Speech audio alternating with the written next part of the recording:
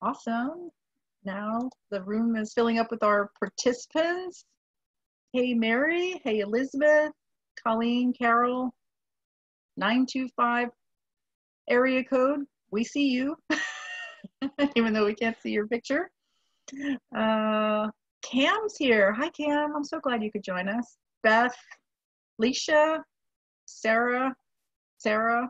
Oh, you got a lot of Sarahs. Um, Sandy, Tammy, Tara, Tracy, Trina. I think I'm pronouncing that right. Just waiting for the room to fill up and everybody enter. We just learned that everybody comes in in alphabetical order. Here comes some more. So welcome Deborah and Dolly.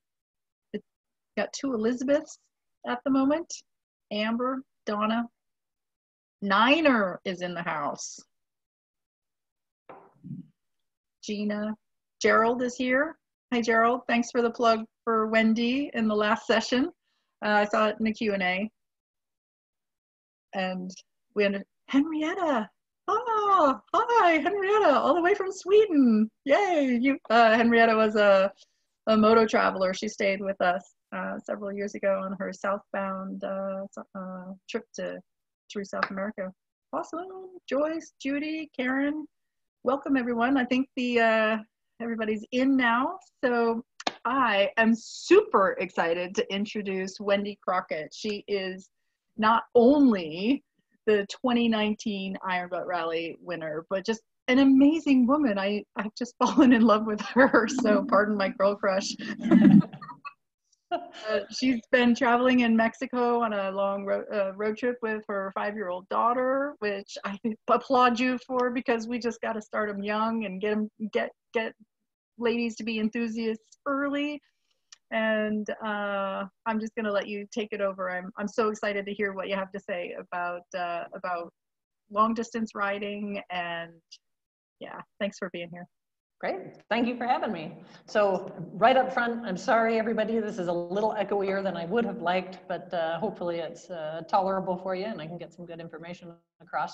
So uh, again, my name is Wendy Crockett. I do a long distance endurance riding is um, really my big thing, but I've also um, done a substantial amount of traveling, close to a million miles um, on two wheels now, most of it solo.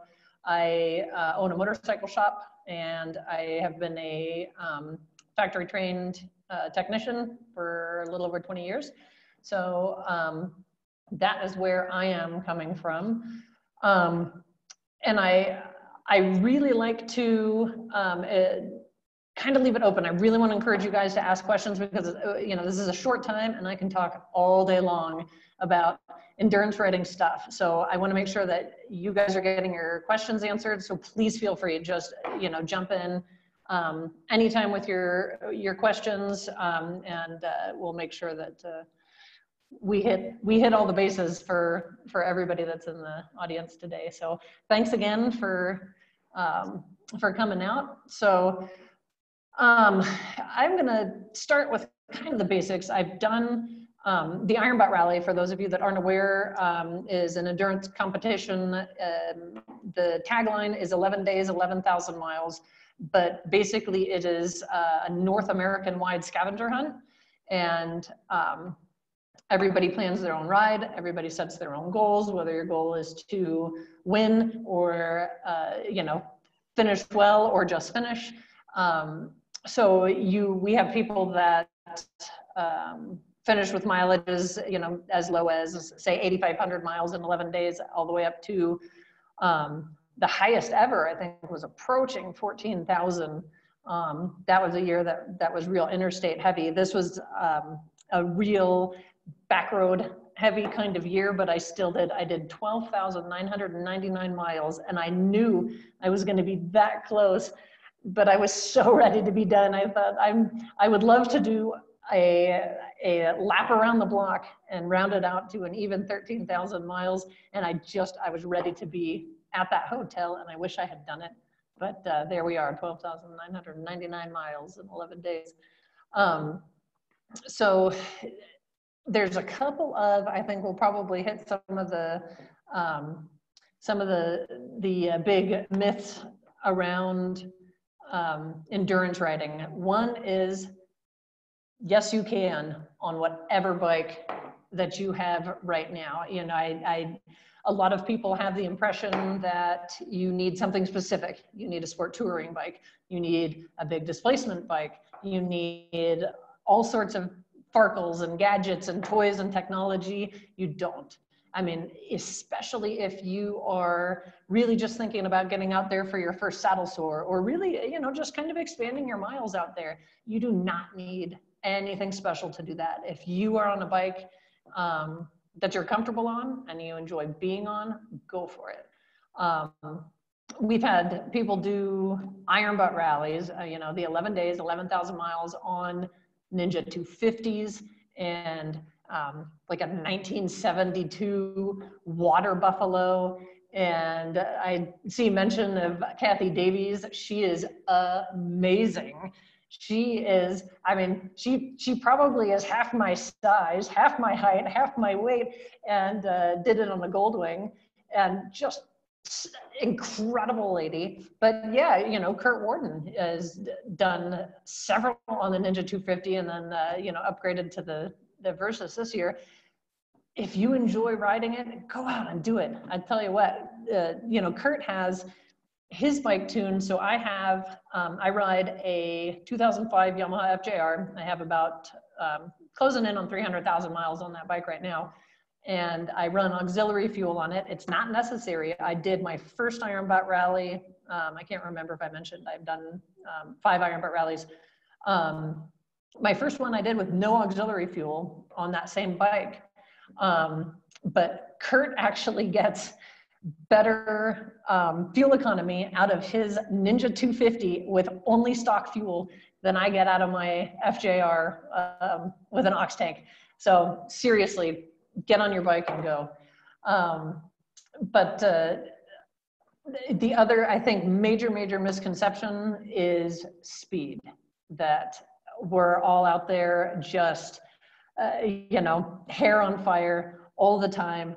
And that's not the case for a number of reasons. I mean, when you you think about um, uh, one, just you know, the loss of fuel efficiency um, when you're running at that that high of a speed, um, it's just not really worth the trade-off. Um, the uh, um, sorry, I got distracted. I saw the the other question about preparing for the uh, IBR. But you know, in order to do a thousand miles in in 24 hours, um, you're talking about less than 15 hours moving at highway speed. So if you know you're on the interstate doing your ride, keeping an average of 70 miles an hour, that's under 15 hours of riding. So that's a lot of time. You have 10 hours in there to gas up and have traffic jams and stop for a nap and um, stop for food. So it really is not, um, there's nothing about this that necessitates dangerous speeds or, um, you know, riding when you're tired, riding in, you know, unsafe conditions. Uh, it's really more about um, being efficient, being efficient when you are on the bike, but more so being maximally efficient when you are off the bike.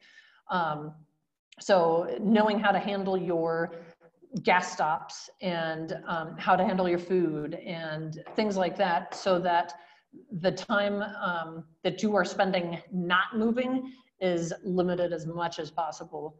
Um, and that was really one of the first I um, and rally. My, my first rally ever was the 2009 Iron Butt Rally. I'd never ridden in another rally, but I thought I could do it, and I, you know, why not aim big, right? So I um, I tossed my head in there, and I finished pretty well. I finished 26th, um, and then started doing smaller rallies. And um, one of my um, one of the next rallies that I did was a um, thousand mile, 24 hour Cal 24 rally. And I tell you what, there was nothing went right. Nothing went smoothly. I was screwing everything up. I was having trouble handling my waypoints, so I didn't get out of the start in time, and I wrong directions everywhere. And it was just, I just felt like I was failing on every level. And I ended up coming in sixth place out of you know, 65 riders or whatever. And um, one of my guys who's now a very good friend said, you just keep the wheels rolling. And that's the difference that uh, things will go right, things will go wrong, things will not go according to plan and you'll have to change your plan. Um, but as long as you're keeping your wheels moving, you are uh, making progress towards that goal and that's the key is you know when i'm when i'm ready i've got everything that i need to stay on the bike and minimize my stops and handle because for all the drama that i'm handling on a ride you know other riders are uh, you know dealing with the same thing. Other riders have got traffic and misdirections and um, you know all the rest of it. So yeah you keep your spirits up and and uh, keep those wheels moving is the best way. And don't uh, don't be tempted to resort to speed to solve your problems especially in i mean even in um, certified rides if you're looking to do an actual certified ride um, it's uh, more and more, you know, if you are submitting a ride that required um, an unreasonable amount of, speed to accomplish it, they're gonna decline your um, your uh, submission. And if you're in an event, there's a lot of things, um, you know, especially on shorter events, like they will have you take your license and registration and they will seal it in an envelope and put a special seal or a sticker on something on there. And if you come back to the starting line and that seal is broken, you're going to lose a lot of points because that means somebody's pulled you over and asked to see your uh, license and registration. So there's a lot of, I mean, and then with tracking as well, um, there's a lot of, uh, um, a lot of things in place um, to to try to slow people down. It's not about the speed; it's about the puzzle. It's about you know being out there and, and um, working the scavenger hunt. So um, I saw uh, Amy asked uh, how I prepare for the IBR. Um, so that's a great question that really leads me into um, kind of like my major um, keystone stuff. My first, um, so my my normal diet is um, you know fairly low carb, but just kind of meat and veggies and water, not a lot of other stuff. Uh, but my first Iron Butt rally, was like, great, I'm on vacation, right? So, you know, I brought very little food with me and it's all about gas station hot dogs and, you know, having, um, you know, soda and candy and coffee to, you know, to help me get along. And um, that was a terrible idea for a number of reasons. You know, one, whatever your normal diet is, I would recommend if you're going to make a change before something major like the IBR, change it well in advance. So um, I started, uh, you know, at, at the beginning of the year, at New Year's, with no sugar, extremely strict diet, no coffee, no alcohol, etc. Um, anticipating having a rally season this year. Turns out we're not, we're not looking like we're going to have much of a rally season, but it's always really good to make those changes well in advance so you're not freaking your body out. Um, you know, if your normal diet is gas station hot dogs and you haven't made this change ahead of time, stick with gas station hot dogs so you're not going to um, be dealing with the ramifications. I mean, there's there's a lot of physical ramifications if you're um, making big changes on the fly like that. So um, I would recommend um, kind of sorting out your, your diet uh, a good bit ahead of time if you're going to be doing a big ride like that. Um, and then I do, I have gotten to the point where um, I bring almost everything that I'm going to consume during those 11 days, I have on the bike with me. The only exception to that, um, like this uh, 2019 rally, the only food that I ate that did not um, come from stuff that I packed with me was um, food that we ate at the checkpoints. There were um, two official checkpoints, um, and they they feed us very well there. And you know, again, sticking with the uh, the protein and the veggies. And um, then I had uh, uh, uh, they we get points for taking rest breaks um, and they, they'll give you a window and you have to document that you started your rest break within this window to, to claim those points. And I was in the middle of nowhere in Canada and I desperately needed a place to take my rest break. So I bought a, uh, um, like a chicken wrap at a Tim Hortons uh, to to uh, justify my being there in this Tim Hortons in the middle of the night, and then I low key went and took a nap in the in the corner of the uh, uh, restaurant. But um, other than that, I carry with me um, good. I like um, perky turkey jerky. It's it's not overly sweet. It's very soft. Um, you know, any any jerky like that, if you get it too gnarly, um, right? Even in the middle of nowhere, you especially have the Tim Hortons, and they were very kind, even though uh, they only spoke French. They seemed to be amused by the uh, the weird, smelly American sleeping in the restaurant. 2 a.m. but uh, um, uh, something like that you know some some good proteins you can get um, you know if you're into it like the tuna pouches um, things like that that's just good lean protein. I carry um, dried unsweetened unsulfured fruit uh, apple rings or um, apricots things like that and that kind of serves as my sweet pick me up if i um, need to change it up a little bit. Lots of nuts um, almonds like unsalted or 50% salt if you can, because otherwise you really start feeling it um, after a few days. Um, you know, macadamias, cashews, that type of thing. And then I like um, some good nut butters. There's some um, Justin's nut butter I like quite a bit because it doesn't have a bunch of preservatives and um, that type of stuff added into it. Um, and that I can eat on the fly. I can open up the little single serve packs and eat those really easily on the fly. So um, between all of those things, and then I have um, I have about a gallon of water. I have two um, hydration jugs on my bike that I can drink while I'm riding, um, and uh, between that and then every every so often um, there's a product I like called Sport Tea.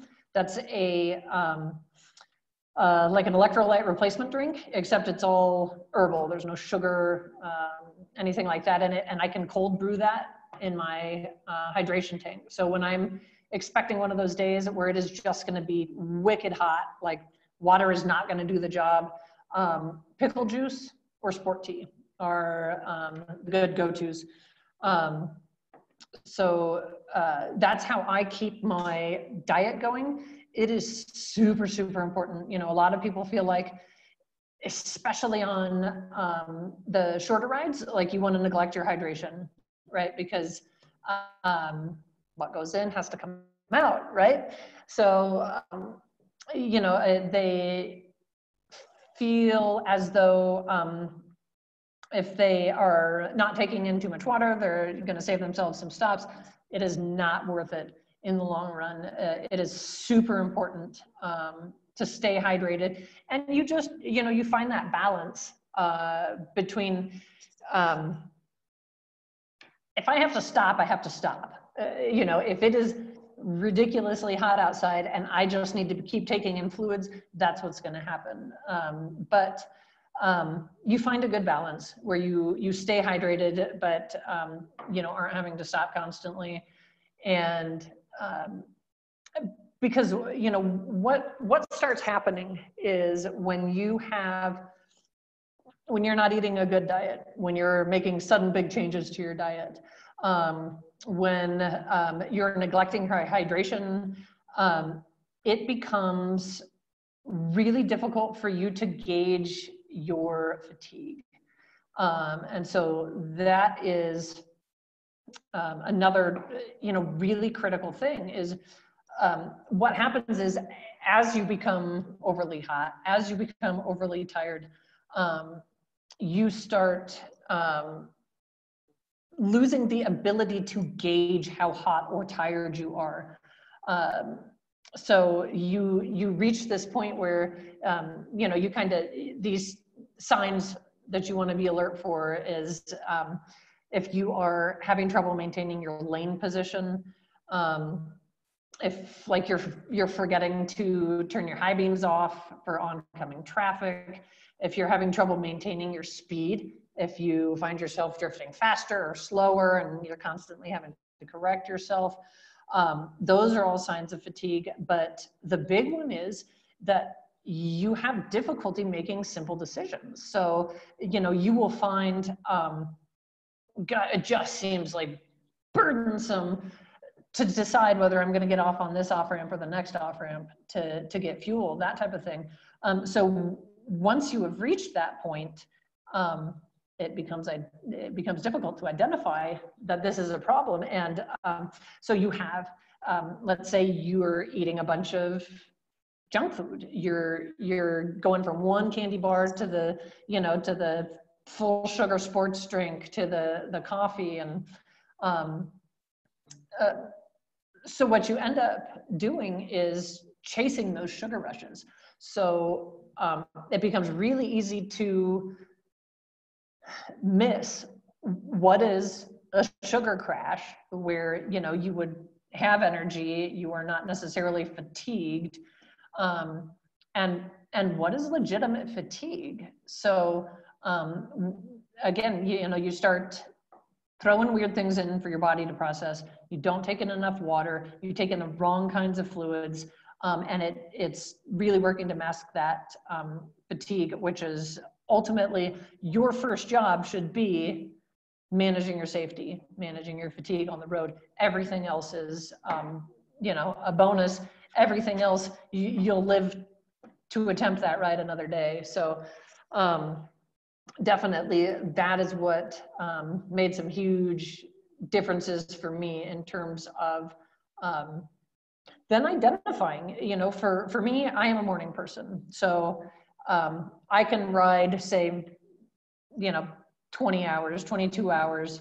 Um, stop. I know that when the sun goes down, say, you know, nine o'clock or whatever, um, my brain starts shutting down. And it's not that I am tired, it's that I've kind of watched the sun go down and my brain's just and so I, I know this about myself, having removed the uh, caffeine and the sugar rushes and everything else.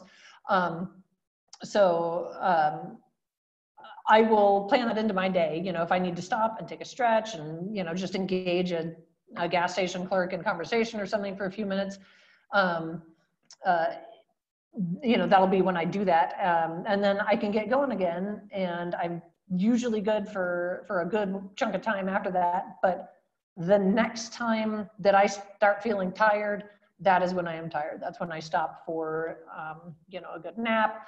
Um, if I can, um, I will aim to um, set my timing. So let's say I'm going to bed at two o'clock and I can wake up at six o'clock and I can wake up with the sun and that resets me. Um, I know a lot of people have the exact opposite problem. They watch the sun come up and it, it makes them want to go to sleep. So, you know, it, what works for me isn't necessarily what um, is going to work for everybody, but the critical thing is removing all the other, um, you know, as many other irritants and disguising factors as possible so you can identify um, in yourself, uh, you know, what's fatigue. And I've seen a few uh, incredulous uh, uh, comments about the um, pickle juice, but yeah, it's, you've got um, the, you know, the sodium in there and the, um, you know, different uh, little minerals, sometimes a little sugar, but um, uh, it, it really does a great job of replenishing you and you can get that as well in um, like little packets similar to like an Emergen-C, something like that. That so you just do that. You toss it in a um, you know water bottle uh, on the trip. It's really easy to carry, um, and it does a good job. So. Um, as far as the, the tools that I use for uh, routing, uh, Amy was asking. Um, so I have uh, begrudgingly changed from uh, streets and trips uh, over to Basecamp because um, Streets and Trips was discontinued a few years ago, and um, uh, I like what I like, and I was really confident with it. Um, but uh, um, I'm getting, I'm good with Basecamp. I'm getting better with it. Um, but you know, I mean, more and more. So I've got, I run two GPSs. I have a, um, a Zumo 665 and a Zumo 595. So a little, bit older, but they're they're getting the job done. But I mean, me, as with many other people, um, are starting to branch out to other technologies. Phones are getting so good. Um, and I can have um, I can have Google Maps, which now incorporates traffic information um, that's giving me much better real-time information um, than what I'm getting necessarily even out of, um, uh, you know, the, the Zumos, some of them have the option to do um, like XM traffic and, and weather and whatnot, um, and can incorporate that into your routing, but it's not nearly as real-time um, as what people are getting out of their phones. So more and more you're seeing people running um, little tablets. And um, so I have uh, my primary GPS that will have my whole leg on it. Um, from this checkpoint to the next checkpoint, or this checkpoint to my next major time limited bonus. And I might have um, five or 10 bonuses in there. Um, and my, that, that doesn't get touched. 2017 cost me a very good finish. I finished seventh, but that's not nearly as good as I would have. Um, because I broke my rule and I was monkeying around in that and I inadvertently switched the order of two of the critical um, bonuses and that really screwed me up. Um, so I have my, my secondary uh, GPS that I use for the what ifs. Could I add this in? What happens if I take this out? Where's the nearest gas station? Um, that type of stuff. So I, I fool around with all my little what ifs just on my secondary. But what I did more so this year is um, I have my whole leg uh, in my primary GPS and um, I routed point to point using my phone. And um, that was, I mean, especially like on the East Coast when there's so much traffic consideration and it's just so dynamic all the time. Um, that was really helpful. So I think we're going to start seeing a big shift um, to that kind of technology. It's getting better with offline maps and um, that type of thing. So um, we'll see. I I have been uh, looking at tablets, and you know, weatherproof tablets are getting cheaper and faster. Um, so we'll see. It's it's an interesting time. That being said, there are still people that um, do a darn good job uh, rallying with paper maps. You know, the shorter rallies, um, 24, you know, 36 hour rally um, with a paper map. Um, yeah, don't let it stop you if you don't have a GPS. Um, you know, especially when you got you got your phone, you've got a great little computer in your pocket. Um, I have, Paige was asking how I get to the starting point uh, I have only ever um, ridden to the starting point. Um, so like this year from when I left home, um, got across the country to the starting point, did the whole rally and then uh, rode home. I did something like 18,000 miles in two and a half weeks. Um, but a lot of guys um, do ship or trailer to the starting line. And, the, you know, the, the explanation that I've heard is um, I don't ride my I don't I don't drive my race car to the track, and that does make a lot of sense. You know, you you get your bike all set up, and um, you want it to be 100% set up and ready to go when you get there. Nobody, you know, there's not a nobody's going to give you a hard time about uh, about either way. Um, it's just uh, my preference to ride. What I find on like the super long rallies, I've done not just the uh, Iron Butt rallies, but I've done several 10 day, 10,000 mile rallies. Um, and that first night is the hardest for me. It's like getting my body to accept that we're doing this again, and, you know, changing the whole schedule up. So um, I like to ride to the start, and I'll do like I did 1,600 miles in about 21 hours to get to the starting line this time. Um, which was actually really good for me because it was like getting that first day of the rally out uh, ahead of the rally, you know, just kind of getting back into the routine. So um, to each their own, there's, you know, there's no right or wrong answer there. Um, uh, Elizabeth was asking, um, do I listen to music? I do. I, um, uh, I have podcasts and um, I used to do um, XM, but uh, now I just download a, you know, a whole bunch of podcasts and I have a lot of uh, music I listen to, but um, this, the theme of the, the rally this year um, in 2019 was the road less traveled. So it was by its very nature, a lot of very small roads, a lot of technical roads, and um, it was such a fun, engaging rally that I very rarely turned my music on, which is great. I mean, that is a sign of an amazing rally when you're so um, when you're so engaged. Um, and I, you know, I get along those lines, you get a lot of people that are like, why would you do this? What a waste. Look at all of these places you've been by and you never get to enjoy them. Um, but, uh, you know, I think a better way to think of it is you've got two weeks for vacation.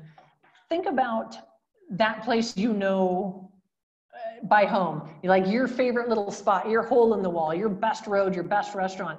And then imagine you have an entire massive community of people with all of their favorite best spots, and those all get thrown together, um, you know, into this bonus pack where you know you can choose to go for points. You can go to choose to visit interesting places, um, and uh, it's like you are showing up and having somebody else plan 90% of an epic motorcycle vacation for you. And it's just up to you to kind of, you know, fine tune that last bit.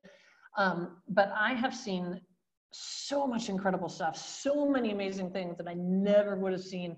Lots of stuff I've gone back to visit, plenty of stuff where in order to get the points, you're walking through the museum, you're taking a tour, you're taking a sky tram ride, you're shooting a squad assault weapon. I mean, you know, all these oddball things, like, you know, it's not stuff that we would necessarily know about or seek out um, in our free time, but um, have had such a wonderful time. So yeah, you know, I, you have those events that are so actively entertaining that I rarely turn on my music. When I do, um, I have a, um, a playlist put together that is the most wildly divergent collection of music.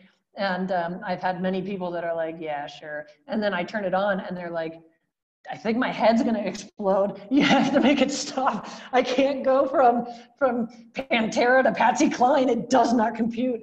But um, you know, I have selected specifically just all stuff that I can dance on the bike to, all stuff that I can sing along to. When I turn my music on, it's because I want to, you know, stay engaged, give my brain something to do. So, you know, I really like my selection of weird, crazy music to, uh, you know, keep me going on those long stretches of interstate. Um, so the uh, um, sleeping, I um, I normally am a very light sleeper. Uh, Roberta was asking, you know, how do I manage sleep? Um, so I have always, I have found that I do better, um, even if I'm only going to get a handful of hours of sleep, especially if I'm only going to get a couple of hours of sleep. Um, I do better in a hotel because then I am not, you know, you don't have bugs crawling on you and you're not always listening for footsteps nearby. Um, uh, and that type of thing. Um, one thing that I would say is um, uh, something that I learned early on is not to make hotel reservations. And, you know, it's kind of um, one of those things, some, some events, the Iron Butt Rally, you don't get your um, um, reservation, you, you don't get your bonus locations necessarily far enough in advance that you'd really be making um, hotel reservations. Other rallies are different that you can get them far in advance and kind of um, gauge out your stops. And what I found is um, when I have a hotel reservation somewhere, I will push myself to that hotel reservation. And so I don't want to be pushing myself to that hotel reservation. I want to be listening for signs of fatigue. And when I am fatigued, I want to stop just right now. I don't want to have the conversation with myself when I am reaching that point of being too tired to make intelligent decisions, um, well, it's only 100 miles. I'm just going to push 100 miles because I have uh, a hotel reservation down the road. Uh, I, I don't do that. Um, when I when I am ready to stop, I'm ready to stop. And if I can't find a um, you know hotel when I'm ready to stop, I absolutely do iron butt motel it, sleeping on the bike, next to the bike, um, that type of thing.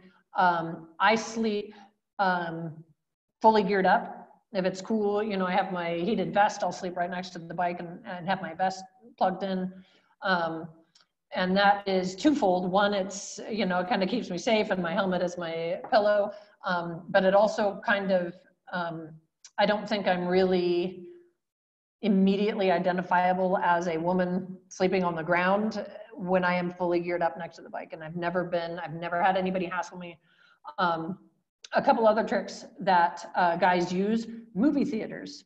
Um, if it is hot, um, you know, especially, you know, you're going, um, going across Phoenix in the middle of the summertime or whatever, and you just need to ride out that hot period of time. Go buy a ticket to a cheap movie and go sleep in the theater because it's air conditioned and it's quiet and it's dark.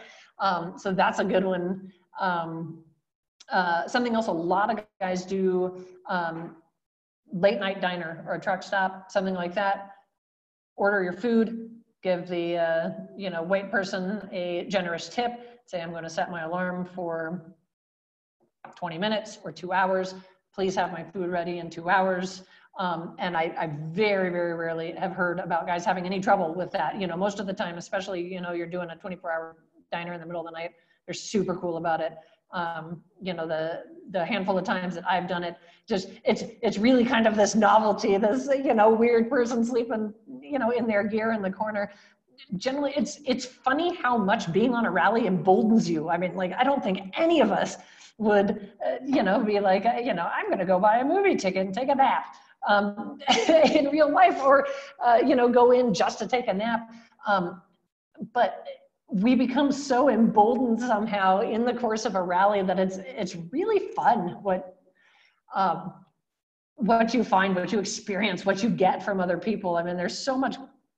Uh, you know, so many cool people in this world that you you interact with. Um, when you kind of uh, take down that uh, the veneer of normal life. So um, those are a couple of, of cool, um, you know, ways to handle if you just need a nap um, when you're uh, on the road. But um, I do um, also, let's see, oh, about um, the safety aspect. it's, uh, uh, let me ask um, Marie's, um, can I talk more about the safety aspect? Um, as riders, you know, are we mentally processing um, all the what ifs? How do you stay present 100% of the time?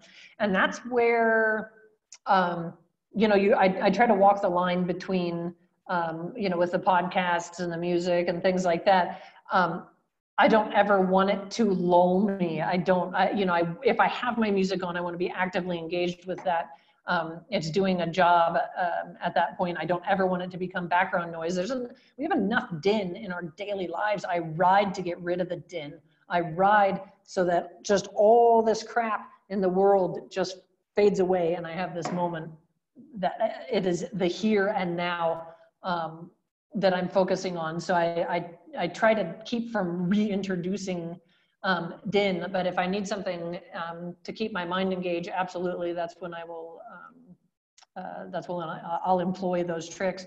Um, I like doing math games, running through um, the, if I, you know, if I'm adding in this bonus, if I'm taking out this bonus, um, uh, am I five eighths of the way through my ride? If I go another 100 kilometers, how far will that get me? What's kilometers converted into miles? Just, you know, these nonsense um, uh, exercises that you put your brain through um, uh, to really, uh, you know, kind of keep present to make sure that you're, um, you're aware. I really make a point of um, doing all my scans um, you know, making sure that I'm regularly checking my mirrors, checking my blind spots, seeing who's around me.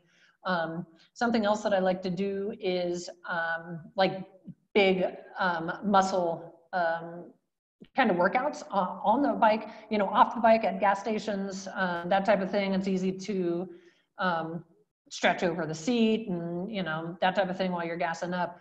But uh, I like to use the wind to, you know, kind of stretch my arms, uh, you know, twist around, stretch my back, stick my legs out, and kind of do um, reps.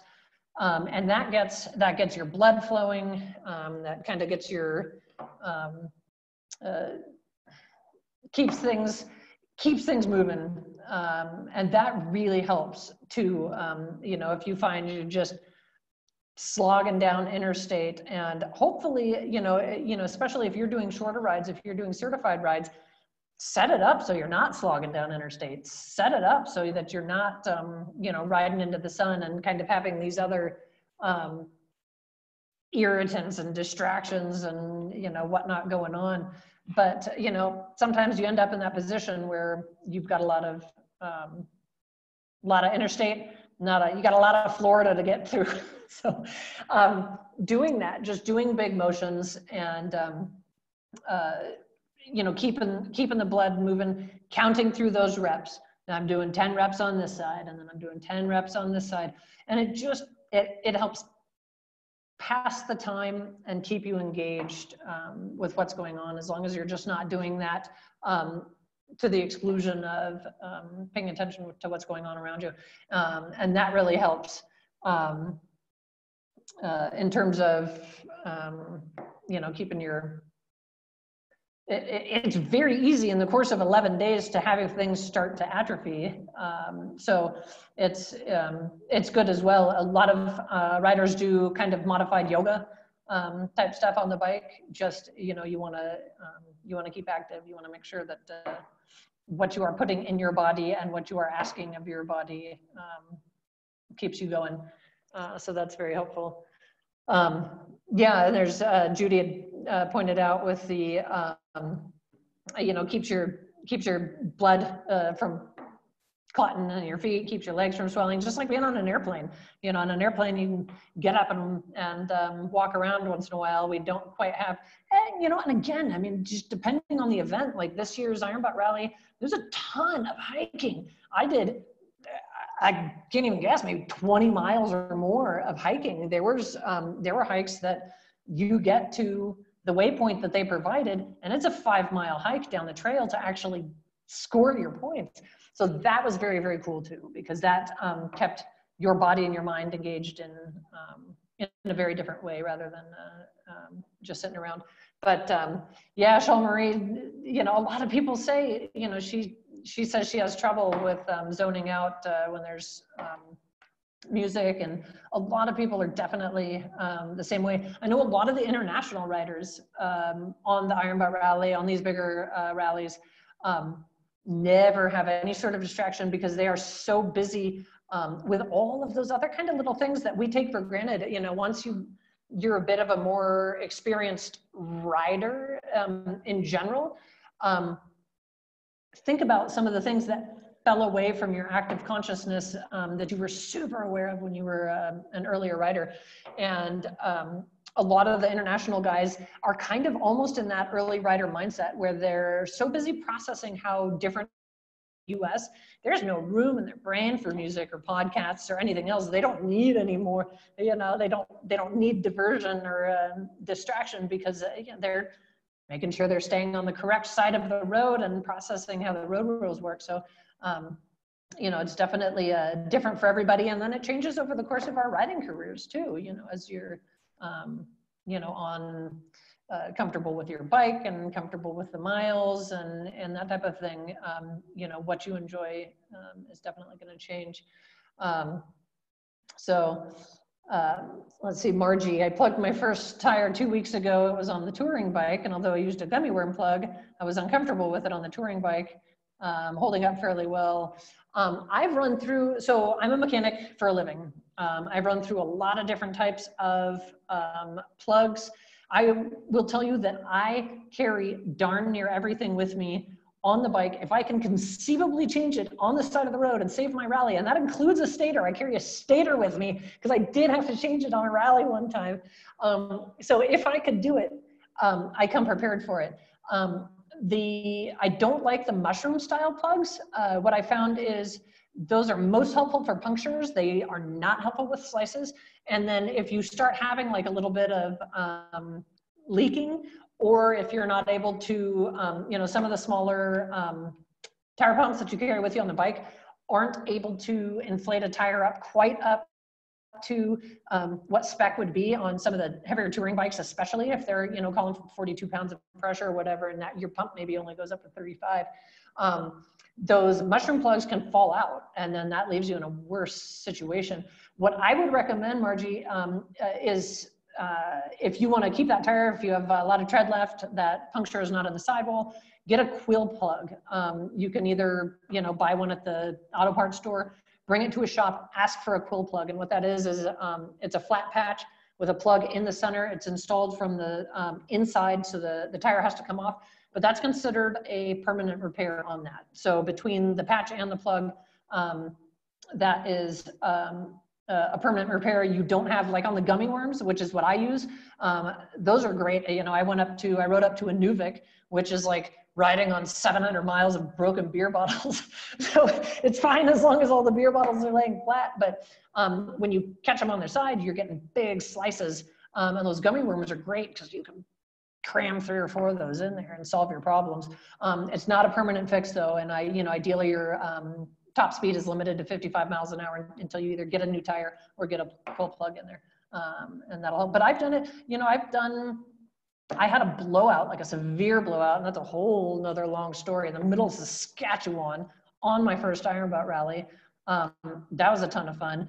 But um, other than that one, I've, I probably plugged two or three tires um, on Iron Butt rallies with sticky worms. Um, and they've got me where I've needed to go. So uh, I've never DNF'd an iron butt rally and uh, you know, knock on wood, um, haven't had a tire keep me out yet. So yeah, um, custom seats, I use a Russell Daylong hands down. If I had to pick one thing to pick, you know, to retain on my rally bike, 100%, it would be my Russell Daylong seat. Um, and don't, um, you know, I'm not talking custom. I'm not talking like Corbin. I mean like uh, Russell Daylong, um, uh, the Mayer brothers. Uh, there's um, Rocky Mayer. Um, full on custom to your butt. So I, I shattered my pelvis in a motorcycle accident and I sit kind of wonky side saddle. Um, I did a ride-in appointment um, with Russell Daylong and they actually, um, my seat is wonky sideways um, to compensate for how I sit. And um, that is absolutely 100%. In fact, uh, now that rally season is uh, a giant question mark, I just sent my seat into after um, I've got about 275,000 miles, uh, butt miles on my Russell Daylong. I just sent it in um, to be recovered on my 300,000 mile bike, 100%. I'm going to keep that seat in uh, top notch shape because that is that is um, absolutely worth the investment. So that's what um, uh, I would recommend there. Uh, Paige was asking about um, seats and um, on, you know, there's a lot of other, uh, Bead Rider is a really good one. People constantly, I have an FC1 um, that I also do big miles on and um, I have a Bead Rider on that. People are always making comments about how it's like, a, uh, like a taxi cab seat, right? But it's super nice. Like it, you can shift around. It keeps the air flowing. That's really important. Is that we keep dry. Like you know the hygiene on the longer um, trips. It's it's super important that you not get swamped. But um, doing um, like monkey butt powder and that type of stuff is not good, especially on the long term because you're wet and then you're adding powders to that and it creates this paste um, you know, get some good base layers, get a good seat. It makes all the difference in the world. Um, I ride with um, LD Comfort base layers, no powders, um, and uh, my seat, and I am good.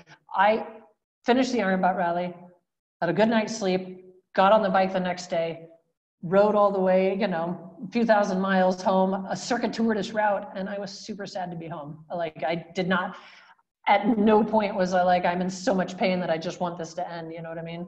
Um, so let me quick, I know we're running short on time. I could talk about this all day long. Um, uh, let's see, um, shoulders tense up, that's a big one. Um, Shannon's asking about shoulders tensing up. Um, oh, are we running out of time? We are, answer your last question and then real quick and then we need to wrap it up. Thank you. Yep.